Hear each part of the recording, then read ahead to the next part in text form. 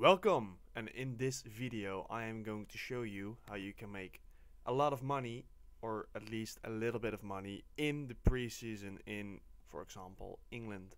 Right now I am playing as Gateshead in the National League. They have pretty good finances as uh, a starting point but if you want to have a little bit of profit then this is what you need to do. As you can see Right now it's 566,000. Now, normally in the lower leagues of England, um, as you go through the year, this will deplete and go down to zero or even in a minus. That's totally normal in the English league system, but it's very annoying. Now, this is a nice and easy way to fix that. So, you go to Gateshead fixtures or whatever team you're playing you can see that I already put a lot of them in. Um, the first thing you need to do is cancel the friendlies. Um, normally you can do that right here and then you press on cancel friendlies. Right now you can't because I just uh, made them, but normally that is something that you can do. Um, yeah, I know all this. Secondly, it's very important that you go to match so with responsibilities to match and then un uh, untick that box and undelegate that. So you don't need to play the friendlies yourself. Then you go back to here and what you do is arrange friendly. Then you press here.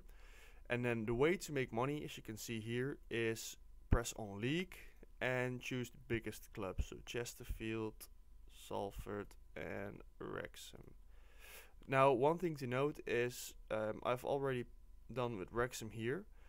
Um, you need to wait a week for they will accept again, otherwise they won't accept. Then you need to put in a name. It doesn't matter what it is, but only then can you press confirm. So now that's done. Um, you need to press continue once, then only then it will show up here. But we can do this again. So Scunthorpe, Chesterfield we already had, so we cannot do them. Then we go to similar and just press the ones with the most uh, money. Oh, this one. Um, Chester. Like that. And not only does this uh, give you the income, but also the, the gate receipts for, for the games. So now I am going to holiday to here to after no, that's not correct. To here. I'm going to holiday to after the last game. So to the 28th. And now we will see if our revenue from 566,000 has gone up. And we are back and you can see it is the 28th of July. And now for the moment of truth. Uh, you see we made 200,000 profit. Um, 213,000 to be exact in this month.